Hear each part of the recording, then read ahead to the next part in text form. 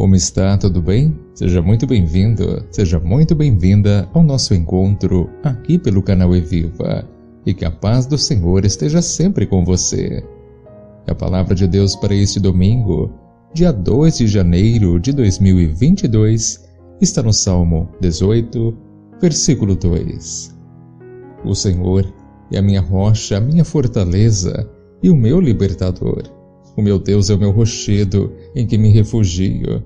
Ele é o meu escudo e o poder que me salva, a minha torre alta. Meu querido, minha querida, quando amamos, quando conhecemos mais sobre Deus, descobrimos que podemos sempre confiar nele, mesmo em situações que parecem impossíveis de resolver. Por nossa confiança em Deus, é colocar nossas vidas em Suas mãos, na sua segurança de que, se seguirmos Sua vontade, ah, Ele tem o melhor então para nós. E esta palavra de hoje, tenha certeza, vai lhe ajudar a confiar mais em Deus em todas as áreas de sua vida. E sabe por quê? Porque Deus é a sua segurança. Ele é a nossa rocha. Não há ninguém mais forte do que Deus. Então, quando sua vida está nas mãos do Senhor, você tem-se uma segurança sólida como uma rocha. Nas lutas, ele é como uma fortaleza que protege seus ocupantes dos ataques do inimigo.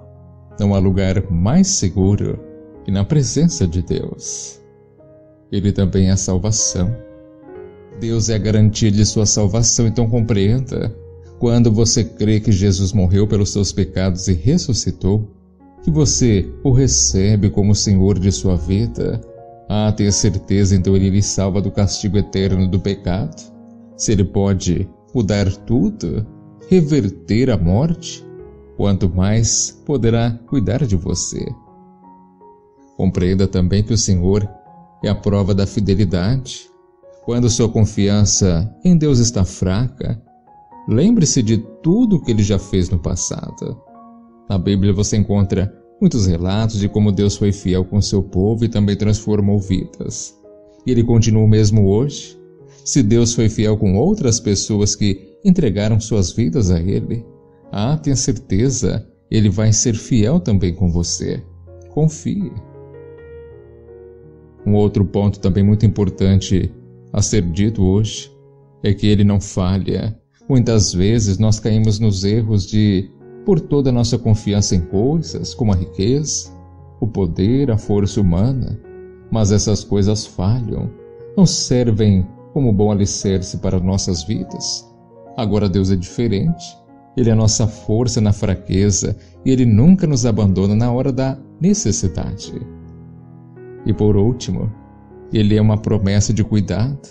As promessas do Senhor não falham. Então, quando você confia no Senhor de todo o seu coração, Ele guia sua vida, Ele lhe ensina o caminho certo. Os planos de Deus para a sua vida são bons, sabia? Sim, são maravilhosos. Então não tenha medo de dar o primeiro passo, o passo de fé. Não tenha medo de entregar cada área de sua vida nas mãos dele. Você então verá que essa é a melhor decisão que você pode fazer.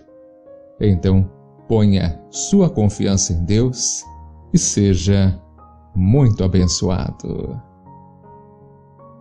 Amém? Agora eu lhe convido, com muita alegria, com muita fé, para vivenciarmos este nosso momento tão especial de oração. Ó Senhor, obrigado por mais este novo dia, Senhor. Obrigado por poder desfrutar dos teus cuidados, de sentir a tua doce presença em nossa vida. Derrama, Senhor, as tuas ricas bênçãos neste novo dia que inicia, sobre a nossa vida, sobre os nossos familiares, sobre os nossos amigos. Tudo isso com muita paz, com muito amor nos corações e principalmente, Senhor, não somente hoje, mas sempre, livra-nos de todo o mal. Amém. Muito obrigado pela agradável companhia. Deixe o seu like neste vídeo, é muito importante. Compartilhe, comente, divulgue. Deixe logo abaixo nos comentários também o seu pedido de oração. Sempre estaremos orando por você e por sua família, sempre com respeito e carinho. Assim, um grande abraço, que o Senhor sempre te proteja, sempre te ilumine e até o nosso próximo encontro, se assim Deus permitir. E um ótimo dia.